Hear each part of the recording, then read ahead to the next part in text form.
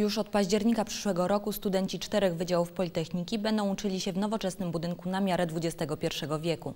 Budowa geocentrum jest już na półmetku.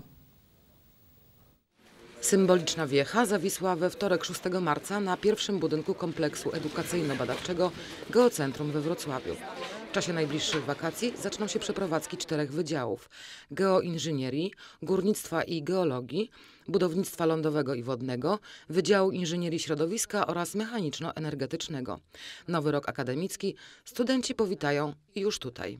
To przede wszystkim jest obiekt studencki. To jest y, budynek, w którym będą nie tylko sale wykładowe, ale znakomicie wyposażone laboratoria, bo to są pieniądze, które uzyskaliśmy z Regionalnego Programu Operacyjnego nie tylko na budynek, ale również na aparaturę. Czyli to będzie znakomicie i w pełni wyposażony po prostu obiekt, Geocentrum to projekt współfinansowany przez Unię Europejską. Budynek jest nowoczesny i zaprojektowany w taki sposób, aby studenci w ramach studiów interdyscyplinarnych mogli kompleksowo zgłębiać zagadnienia dotyczące innymi eksploatacji kopalin, hydrologii, konstrukcji budowli czy infrastruktury drogowej.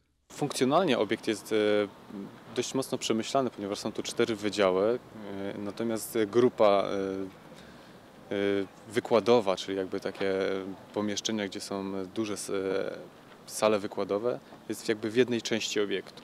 No to pozwoli na racjonalne wykorzystanie tych sal audytoryjnych i wykładowych dla wszystkich wydziałów. Nowe inwestycje Politechniki Wrocławskiej zmieniają oblicze miasta, zwracają je w stronę Odry. Przeszliśmy na drugą stronę Odry. Uważam, że jest to dobry krok w kierunku stworzenia jednolitego kampusu dla Politechniki Wrocławskiej. To ma być miasto w mieście, miasto studentów i bardzo się cieszę, że kolejny obiekt na, obiekt na mapie tego miasta powstał. Już niedługo w pobliżu Geocentrum rozpocznie się także budowa kładki gondolowej, która będzie łączyć kampus główny z tym na Grobli. Autorami projektu przeprawy są pracownicy Politechniki. Koszty realizacji uczelnia podzieli z budżetem miasta. Ta kolejka będzie miała przepustowość mm, 15 osób. Jeden wagonik będzie przewoził. Co 2,5 minuty będzie, e, jeżeli częstotliwość przemieszczania się tego wagonika. I jest to coś w rodzaju windy, tylko zamiast ulokowanej wysoko, w wysokim budynku, będzie to winda po prostu pozioma.